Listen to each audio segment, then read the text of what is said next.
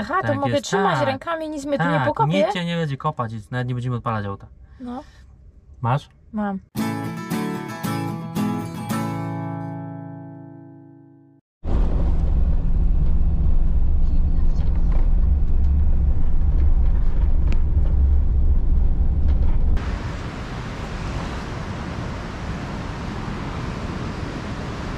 Gdzie wycieczka.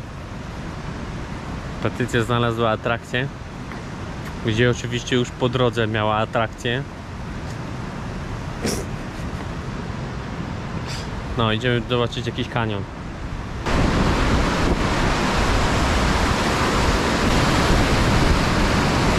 Ale wieje!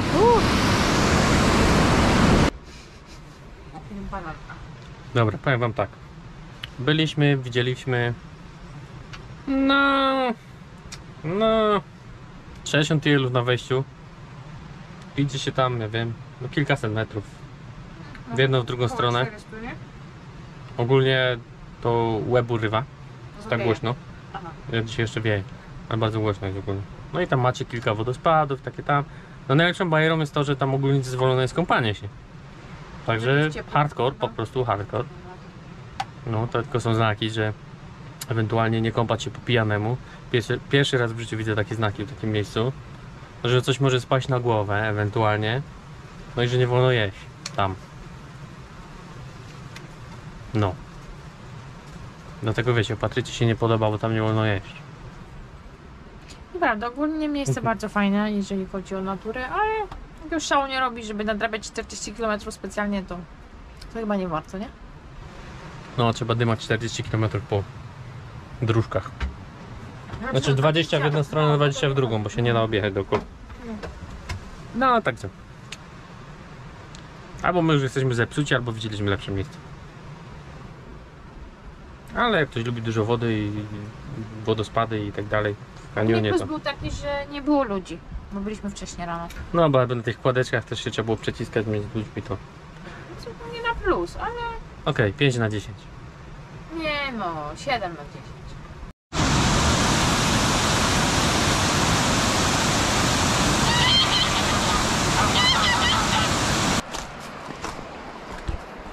Tu często stoi coś takiego, tam gdzie woda jest. I ja tak cały czas się zastanawiałem, znaczy w sumie nie zastanawiałem. Myślałem, że to jest po prostu, nie wiem, jakiś, nie wiem, uzdatniacz czy coś, chociaż ta woda i tak jest dobra. Czy po co to tutaj stoi, czy tam jakaś ten. I tak teraz dopiero wiecie co, podchodzę pierwszy raz. Patrz, jest lodóweczka normalnie. Pływaczek, to się napełnia tą, tą wodą, schładza tą wodę jeszcze bardziej. I wtedy się tu leje. Dobra. E, Jest postój, jest pogoda, nie? A Trzeba coś porobić. Uwaga, tak? Czyli wszystko wywalone. Tu Patrycja już tam sprząta. Ja tu pół przodu rozebrałem. A po co? E, Ponieważ ostatnio padło pytanie o D w Ducato. No i teraz tak, po staremu było łatwo. Jest tam w skrzynce pod tym. Tam bodajże pin 25. To w starszych tutaj macie skrzyneczkę. Ona jest takiego szarego koloru. Tam jest wtyczka taka duża i tam 25 pin macie sygnał D. Po co nam sygnał D w większości do ładowarek lub separatorów? Macie takie Renogi, które tam wymaga podpięcia D. Niektórzy to podpinają po prostu pod sygnał po stacyjce, co powoduje, że to Renogi się e, zjara na przykład. Ponieważ jest podpięte po stacyjce, przekręcacie kluczyk, ono już dostaje sygnał, już łączy i w tym momencie przekręcacie kluczyk dalej, czyli do rozruchu i nagle wielkie obciążenie biegnie przez Renodzie, ale w drugą stronę. A tutaj chodzi o to, żeby on łączył dopiero w momencie, kiedy silnik już pracuje. Czyli sygnał D+, czyli to jest sygnał, gdzie pojawi się te 14V praktycznie, ale już po tym, jak silnik się rozkręci. I to trwa sekundę, dwie. I teraz potrzebujemy taki sygnał. Legenda mówi, że jest on w tej wtyczce tutaj, bardzo dużej. A że ja tak po prostu wtyczki nie będę rozbiernie sprawdzał 100 tysięcy przewodów, ja pójdę od sedna. Czyli tu jest wiązka, która biegnie do alternatora. Ona sobie biegnie tam na dół, dobra już. To wam uwierzcie na słowo, to biegnie prosto do wtyczki na alternatorze. I teraz tak, tutaj są trzy przewodziki. Jest żółto-czerwony. I teraz tak, ten żółto-czerwony to jest właśnie nasz sygnał D+. I teraz postaramy się go znaleźć jak najbliżej już tutaj wiązki, tutaj, żebyście to mieli na miejscu, tak faktycznie potwierdzone. No, a jak ja to robię? Zobaczcie, taki patent. Mam szpileczkę, wbijam sobie w przewód. Oczywiście to... Oj, chuj, szpilka poszła. Ok, muszę ją znaleźć. Tu była szpilka wbita i wtedy sobie jesteśmy w stanie miernikiem zmierzyć. Tam do masy, tutaj do tej szpileczki i mamy tu coś w przewodzie, bez przecinania go. Jak już sobie posprawdzamy, bierzemy sobie klej. Możemy zrobić malutką kropeczkę w tej dziurce, chociaż to i tak stawiam, że tam by się nic nie działo. Ale to jest taka metoda na szukanie, dobra. Patrycja, przekręć na zapłon. Dobra. A gdybyś jeszcze mogła wyłączyć wentylatorek, bo nam tu huczy. Znalazł. Ok, tutaj jest jakieś tam testowe 1 V z hakiem. Jest przekręcony zapłon, czyli jak widzicie tutaj nie ma nadal 12 V. Teraz co się stanie, jeśli Patrycja odpali silnik? Patrycja, odpalamy.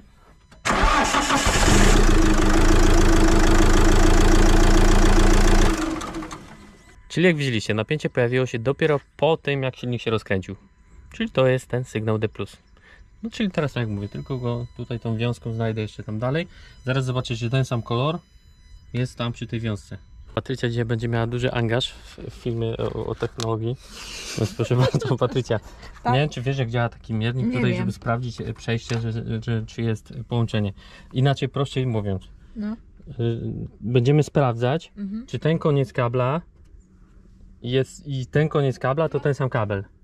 A nie widzimy, co jest pomiędzy. Czarna magia jak dla mnie, a dla Dobra, was. patrzcie. E, tutaj Patrycja będzie musiała przytrzymać na tym kabelku, o którym mówiliśmy, z tą szpileczką wbitą. Co będę musiała to- to przytrzymać? jest- No to. Palcem? Na czym? A jak mnie Nogą pokopie? wolisz? A jak mnie pokopie? Nic się nie pokopię. I tu przytrzymać, a ja wtedy tutaj w tej wiązce, widzicie, bo rozebrałem wiązkę i mam tutaj czerwony-żółty kabelek. Tylko tak patrząc na niego, e, jego paseczek jest nieco inny aniżeli ten na tamtym. I teraz nie wiem, być może po drodze jest połączenie, ale kolor się zgadza, tylko grubość pasków już, nie? No To mam tylko tak palcami złapać tą Nie, nie, szpilkę? nie, nie, nie, nie, nie. To Ty co? musisz wziąć jedną końcówkę i musisz przyłożyć do tej szpilki i tą szpilkę wpychając tam, żeby było pewne, że ona jest tam wypchnięta. Masz? Już? Już mam go dotykać? No to chwycie to normalnie, tą szpilkę, wepchnij sobie w kabelek. Aha, to Tak mogę jest, trzymać tak. rękami, nic mnie tu nie Tak, pokopie? nic cię nie będzie kopać, nawet nie będziemy odpalać auta. No, Masz? mam. Dobra, ja teraz wkładam z drugiej strony i cisza. Uwaga. Na kłucie. Piszcie, widzisz? To znaczy, że to jest ten kabel. Aha, by nie piszczało, to znaczy, że to nie jest To ten. znaczy, że to niekoniecznie jest ten, ale jeszcze by mogło piszczeć, ale wskazywać coś więcej tutaj na wyświetlaczu, ale że nam wskazuje praktycznie 0 ohm oporności, to to będzie ten kabel. No, dobrze. Dobrze, już masz wolne znowu. Ale wiecie co, jestem głodna. Co jesteś? Głodna. To idź sobie coś zjedz. Jest 13.01. Jak widzisz, stary nie będzie na razie gotował obiadu. Dobra. E, Stary czyli dzisiaj będzie gotował kaczkę. Znaczy, robił kaczkę. pies z kaczki po prostu. No. Będzie grubo. To Jeszcze zobaczymy.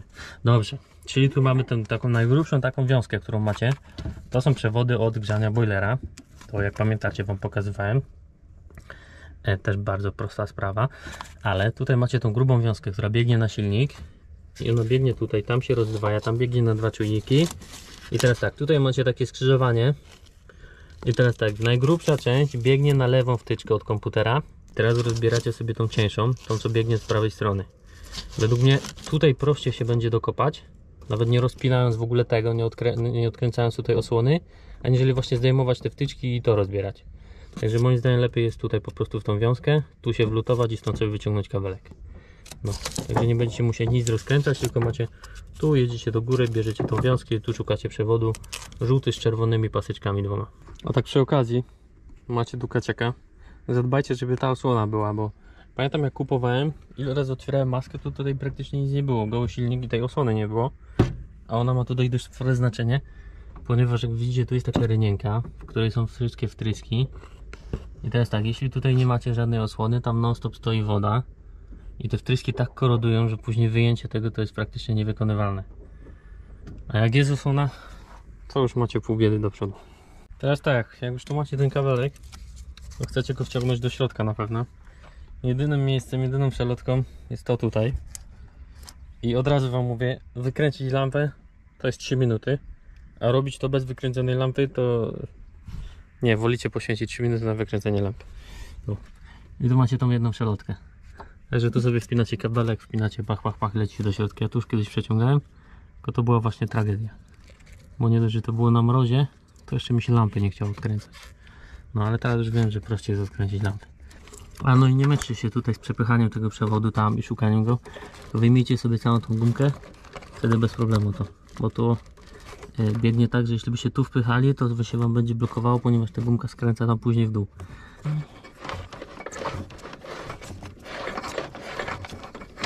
Dobra, mam. Już go masz? No.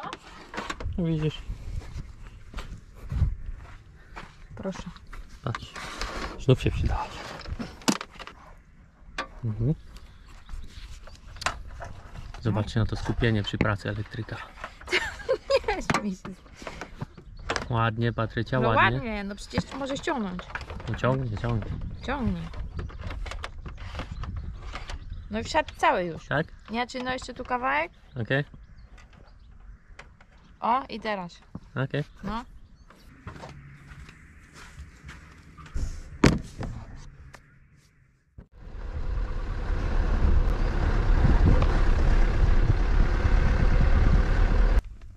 Wiecie co? Warzywa się skończyły. A co się robi, jak się warzywa skończyły? Się idzie na targ. Idziemy na tak.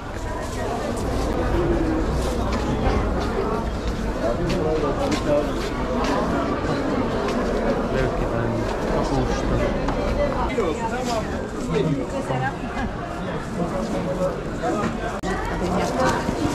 Pakuj ta cebula, pakuj.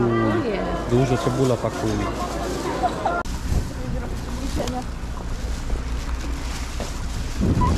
Sąsiady.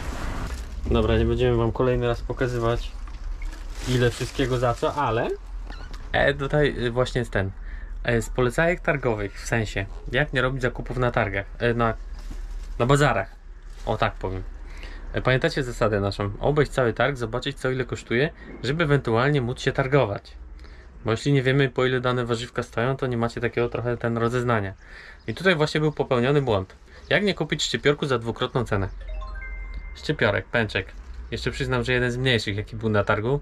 Pierwszy z brzegu wzięty e, tak po prostu i to jeszcze w dodatku nie miał karteczek. Bo druga zasada, patrzcie gdzie są karteczki, żeby wiedzieć, nie? Tu macie stanowisko. Idealny przykład. Macie stanowisko, nie ma karteczek. Jest szczypiorek. Nie wiecie po ile jest ten szczypiorek w rzeczywistości. Pytacie, bierzecie szczypiorek, pani mówi 20, płacicie 20. Z dziwnym jej bardzo zadowoleniem na twarzy. Idziecie kawałek dalej, widzicie, że każdy szczypiorek kosztuje po 10. Tada! Dlaczego właśnie się trzeba obeznać? Po ile kosztują warzywka? Ale tak czy inaczej, no 20 za ten szczypiorek, czyli dwa z czymś. No i za całość 20 zł. Przebolejemy tą porażkę.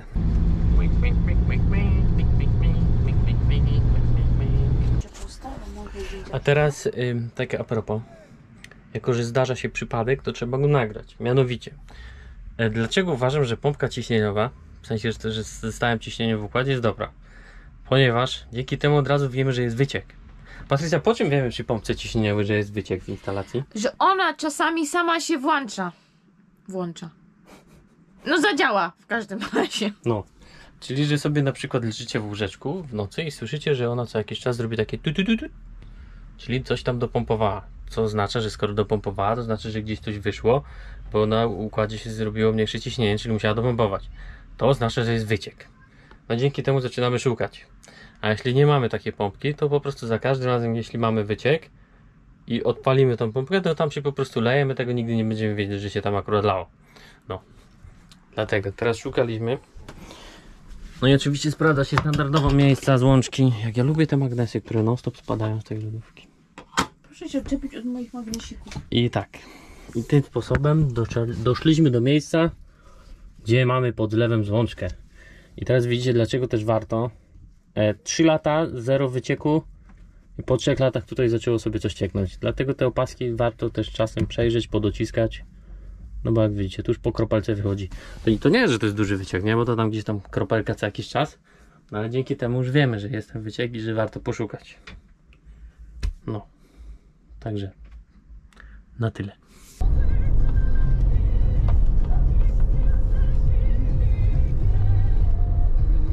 Wyjeżdżamy już z miejscówki, ale chciałbym jeszcze coś pokazać na wyjeździe. No zobaczcie, tu stoi taki budynek z takim kominem. Znowu zagwozdka. Co to może być? Jak sobie tak idziemy, idziemy, idziemy. O. Także w nocy tak ostrzegam po tureckich e, takich tych e, lepiej nie chodzi, bo tutaj nigdy nic zabezpieczone nie będzie. No tam jest kilka metrów w dół. Są jakieś takie rury.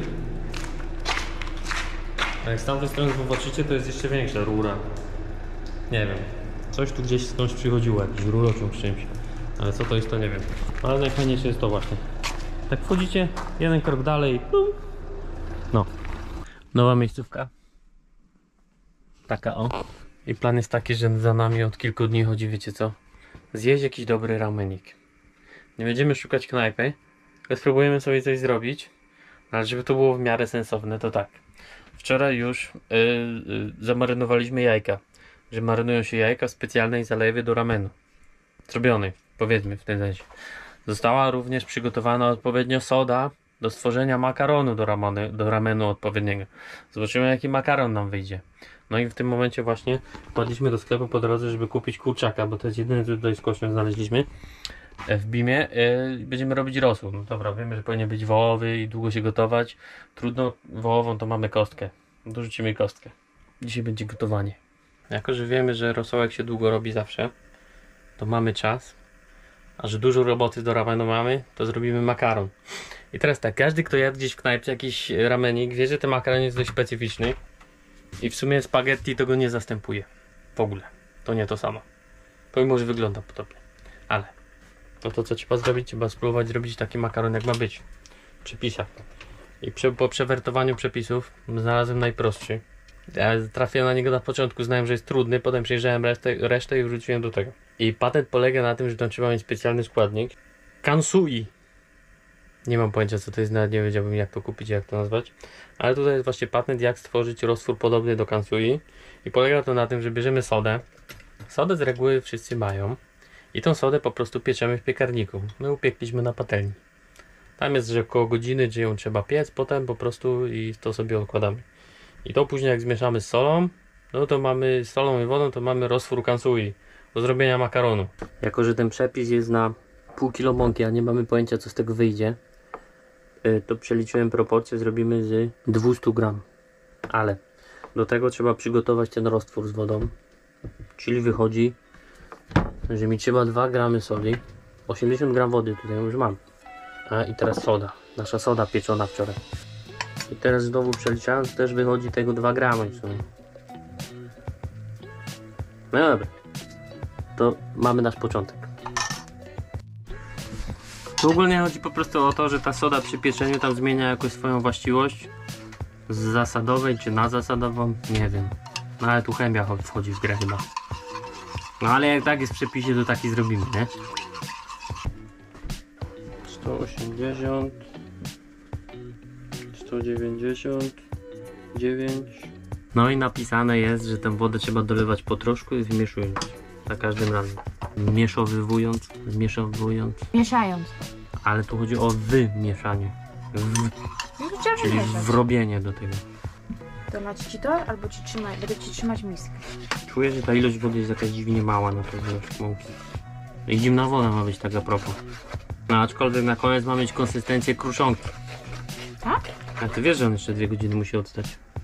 To której my będziemy ten obiad jedli? Ma- Ten rosół się długo robi, więc Ja muszę zjeść trzecie znaczenia. śniadanie. Ogólnie nie wiem jeszcze jak rozwiążemy problem, bo tam jest coś o specjalnej prasce, przez którą go trzeba przepuścić kilka razy, żeby go, jak to nazwali, zlaminować. Czyli będziemy go gnieść porządnie. No i ugniecione ciasto ma być włożone do woreczka, ale pół godziny. Teraz to czytałem. Potem się go odkłada znowu na pół godziny. O! Godzina. Okej, po pół godzinie trzeba było go przewałkować, no to go przewałkowałem. Wkładam go znowu tutaj. Już wiem dlaczego tam była wymagana maszynka do wałkowania. Czy jak to się tam nazywa. Napisane, że to ma mieć 1,5 mm max. Za 3 dni jemy. Dobra, jako że nic się nie zmieniło nadal i nadal nie mamy maszynki do makaronu, to zwijałem w rulonik i będę kroił teraz. Drobno. Piękno. O! Boże, drugi raz w życiu robię makaron. I to jeszcze nie makaron, w sumie tylko coś innego. Kiedyś zrobiliśmy raz makaron. Można było nim zabijać. Pisali, że gotować coś koło minuty.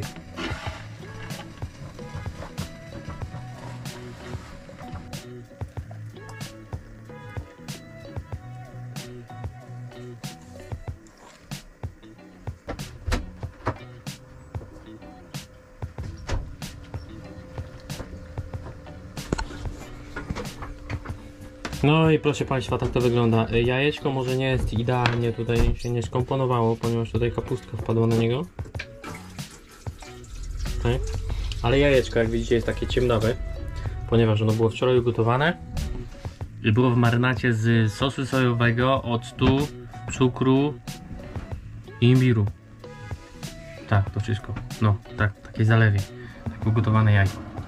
No i jak widzicie tutaj jeszcze jest marcheweczka, jeszcze groszek jakiś mamy, tutaj świeża cebulka, kukurydza, to jajeczko, tu kapusta była wrócona, e, polski akcent to mamy takie grzybki, o, bo nie mieliśmy innych.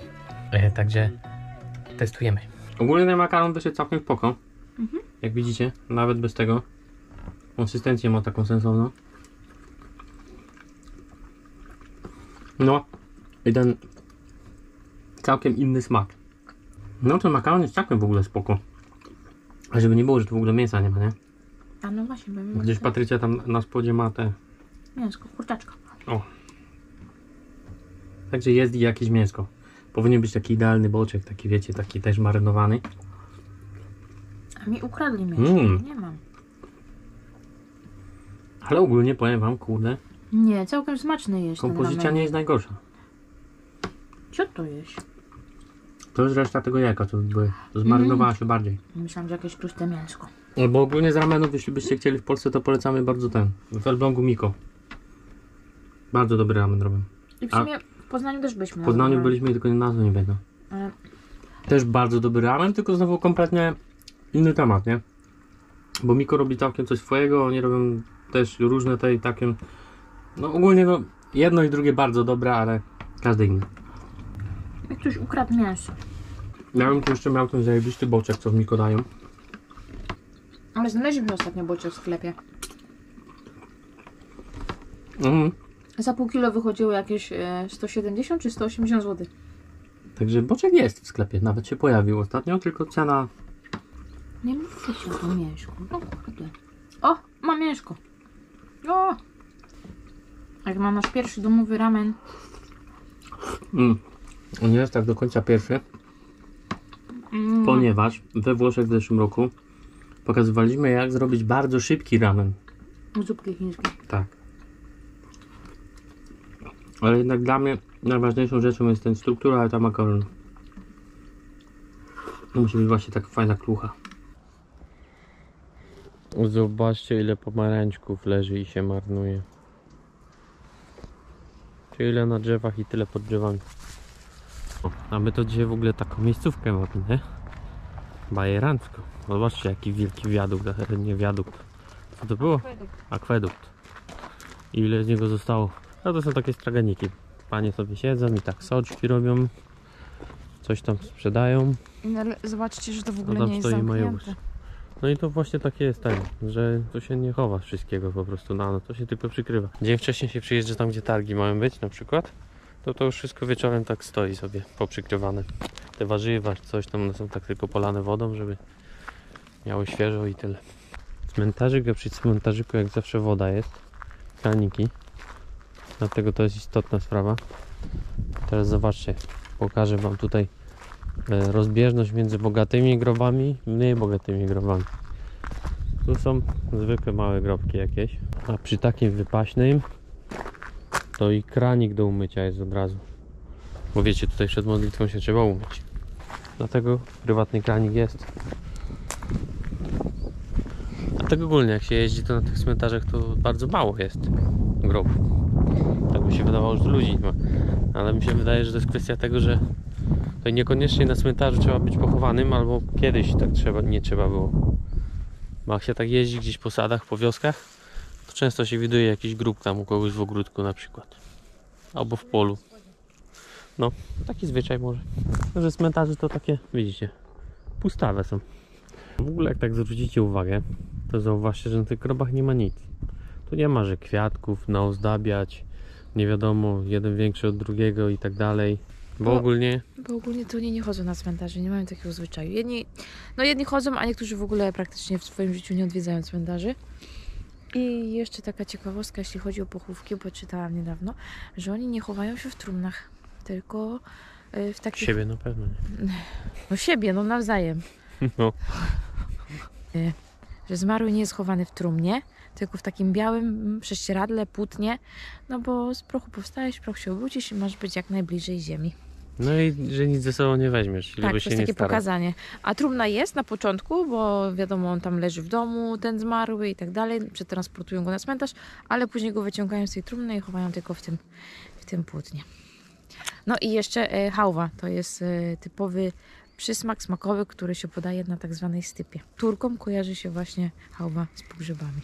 I jeszcze jedną mam ciekawostkę, to mi się przypomniało, e, że w Turcji właśnie ta stypa to przeważnie jest robiona albo przez jakichś sąsiadów czy rodziny taką dalszą, albo sponsoruje ją nawet miasto, czy tam burmistrz, czy w jakiejś małej miejscowości, wiosce, nie wiem, sołtys, czy jak to się tam nazywa, bo ty jako ten, ta najbliższa rodzina nie możesz, e, no nie możesz nic zrobić w ciągu tej naj, najbliższych dni po śmierci danej osoby, najbliższej ci. No, No w tak. sensie, że ma się zająć żałobą przy Tak. czymś tam. I nie możesz nic robić takiego.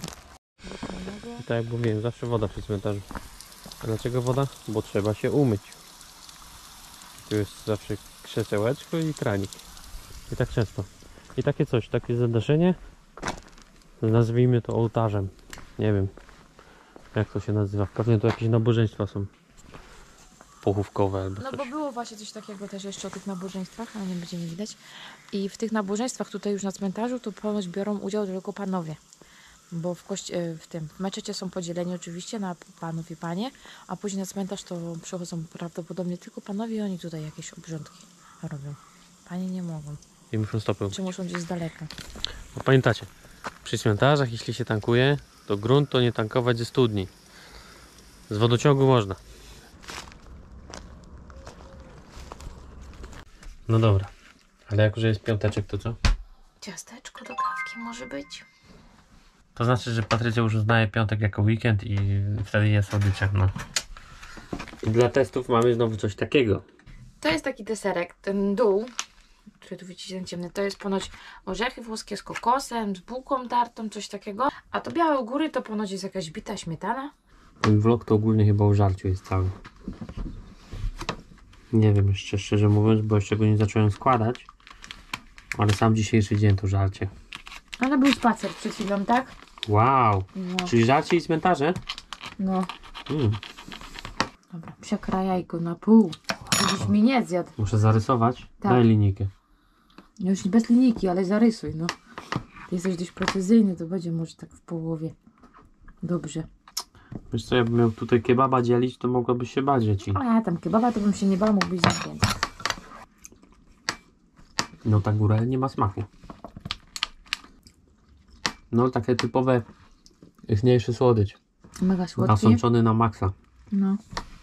To dosłownie ono tutaj pływa. Jest nasączony tak na maksa.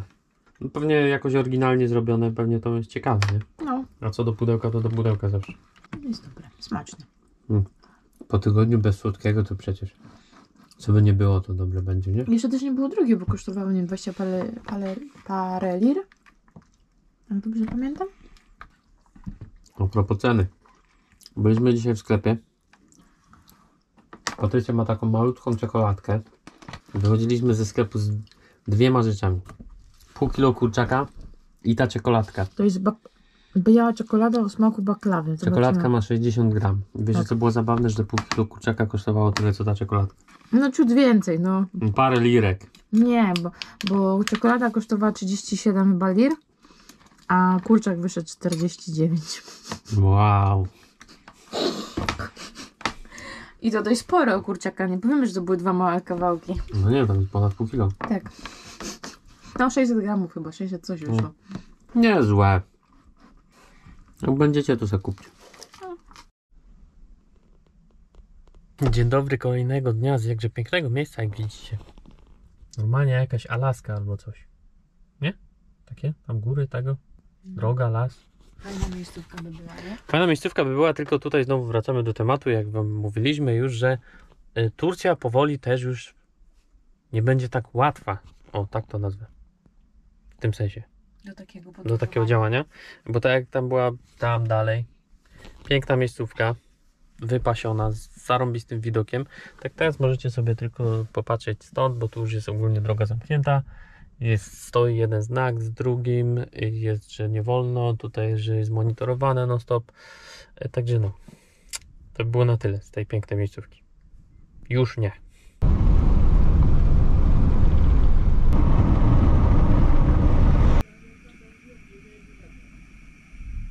No i co? I znów nowa miejscówka. I nie zgadniecie co robimy. Jemy. To znaczy już zjedliśmy. Ale tak przy okazji, teraz chlebek się piecze. Ostatnio doszedłem do tego, że jednak nie trzeba stać cały dzień, żeby upiec chleb. Zarabiamy chleb rano, możemy się przemieszczać, a chlebek leży w pościeli. W łóżku. Odpowiednia amortyzacja, spokojnie wyrasta, nie opada, działa to. Także po kilku latach doszliśmy do tego wniosku. I da się. A potem wiecie co będziemy robić? Stary będzie robił sernik. No, obiecał, że zrobi sernik z jogurtu. Zobaczymy, co wyjdzie. A ja mam pipcia na serniki. Patrycja nie ma takiej sernikowej. Ja bym chciał sernik zjeść, a tutaj nie ma fajnego sera na sernik. I wymyślę, czy się da. Ale z jogurtu jogurtów jest od groma i takie duże opakowania. Kupujemy jogurt po 1,5 kg, więc zobaczymy, co się uda. Jak z tego nic nie wyjdzie, to też się dowiecie. Byliśmy tam na górze, na tej zaporze, ale zjechaliśmy tu na dół, bo tam wieje niemiłosiernie. I zobaczcie, jak to śmiesznie wygląda. Ogólnie część zapory to jest taka, że tu góra była. Potem znowu jest zapora zbudowana. Tylko teraz temat tego, jak widzicie, o, to tu się ma przelewać, nie? No tutaj w skrajnej sytuacji się po prostu przelewa i prosto w miasto. Nie wiem, jakoś dziwnie to zrobił.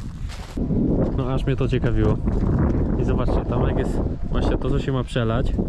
I tak pokazywałem, że nie ma żadnego koryta, ponieważ to tu jest wybudowane wszystko. Tu jest taki plac zabaw, jakaś tam, nie wiem, imprezownia, jakiś taki plac do robienia imprez. No i tak dosłownie to to jest tym korytem.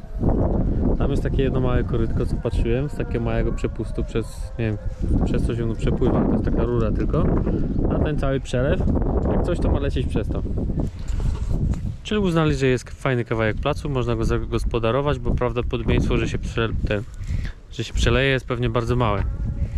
No i w razie czego, no cóż, to wtedy spływało, widzicie? To dopiero pomysł, nie? Dobra, Patrycja, to jakbyś w nocy słyszała, że się dużo wody leje, to znaczy, że trzeba wstawać, Mnie już stresuje. bo my jesteśmy na przelocie. Widzicie, tam wpadnie woda, przepłynie tędy, zmyje to i wpadnie do koryta.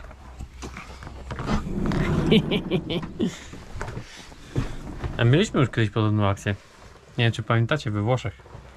Jak nagle słyszeliśmy, że pociąg obok przejeżdża, to się okazało, że to morze pod nami płynęło. No, ale jak widzicie, chlebek już mamy, także e, będziemy robić sernik. Ja ci pomogę. Ja wolę bez. Ogólnie filozofia jest dość prosta podobno. Wszystko mieszamy, wrzucamy do pieczenia. I tak. Dwa jajeczka. Groszek konserwowy to chyba nie.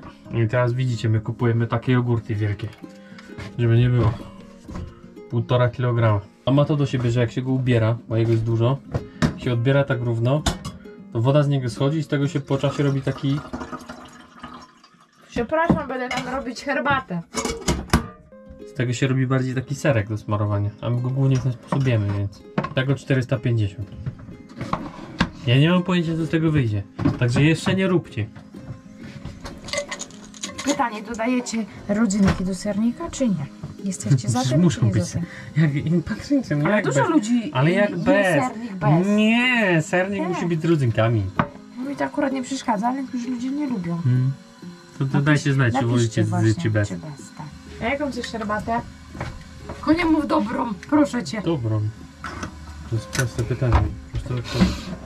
No i do tego tak a propos dalej, to były te dwa jajka, 450 jogurtu yy, i budyń waniliowy lub śmietankowy.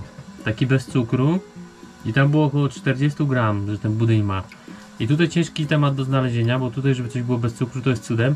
Więc udało się kupić budyń, ale się z wyliczeń wyszło, że on w swojej masie miał 80 gram cukru już, ale po odjęciu wyszło, że 35 gram to składniki budyniu. Także, nie uwierzycie. Odsiewaliśmy ten budyń wczoraj. W sumie to ja. Takim malutkim siteczkiem do W zaparzenia sumie wszędzie herbaty. było biało. Cicho. No i wyszło, że faktycznie jest tego cukru 80. No bo wiecie, on ma grubą gradację i spokojnie go można było odsiać, a budyń jest jaki jest. No i także zostało 35 gram tego budyniu, plus wróciło tutaj 40 gram cukru. I to jest to co mówiłem, że jedyny sprzęt AGD jaki mamy, a nie no bo ekspres jeszcze w sumie się liczy. Ale z takich rzeczy to właśnie blender z takimi końcóweczkami. Z taką do obijania i do blendowania. Ja teraz sobie te jajka tylko tutaj roztrzepam.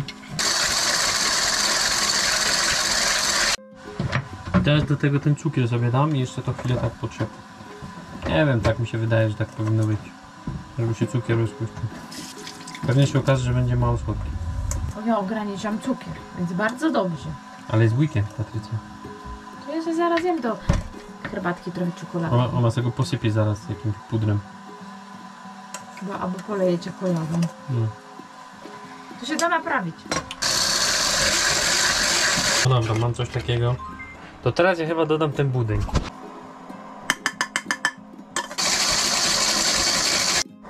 No i te najważniejsze, czyli ten jogurt. Widzicie, on już odstał chwilę. Takie trochę bardziej, już mamy taki serek, nie? To co zostaje po tym jogurcie to jest świetna opcja, bo jest od razu z miską i sam raz dla bezdomniaka. I tu jest taka reszta jogurciku, one to lubią. Ale akurat nie ma żadnego za oknem. Voila. No kurde, wystarczająco bym powiedział. Spoko będzie. No to do mnie.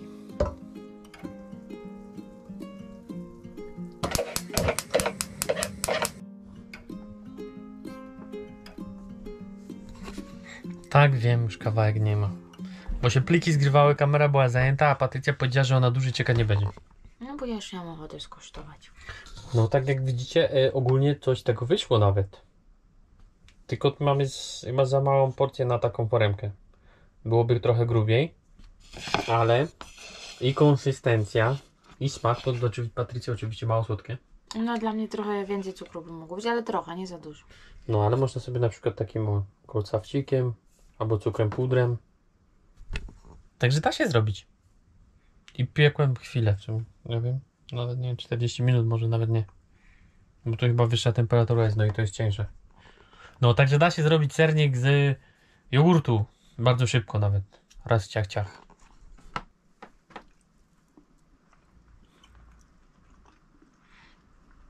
Chyba zjem jeszcze jeden kawałek. Taki bardzo delikatny jest.